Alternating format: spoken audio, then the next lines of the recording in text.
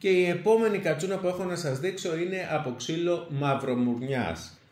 Στιβαρού τύπου ολόισια από ξύλο μαυρομουρνιάς που είναι αρκετά ανθεκτικό και ελαστικό ξύλο, 1,48 το ύψος της, 1200 γραμμάρια το βάρος της και 11,5 εκατοστά η περίμετρος του ξύλου στην κούρβα. Η, η κούρβα έχει γίνει στο παχύ σημείο του ξύλου έτσι για να την κρατάτε και να έχει σταθερό κράτημα να γεμίζει το χέρι σας.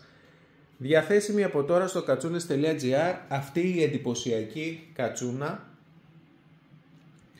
για να γίνει δική σας εύκολα και γρήγορα αγοράζοντάς την online. Τέτοιες κατσούνες βρίσκεται μόνο στο κατσούνες.gr με τέτοια γυρίσματα. Έχει τη δική μας φραγίδα υπογραφή και όλα αυτά τα καλά που φέρνει μια κατσούνα που έχετε προμηθευτεί από το κατσούνες.gr εδώ το μαύρο που βλέπετε είναι κάψιμο κατά την κατεργασία του ξύλου γιατί είναι αρκετά παχύς ο κορμός. Μαζόρισε λίγο αλλά η προσπάθεια άξιζε το κόπο.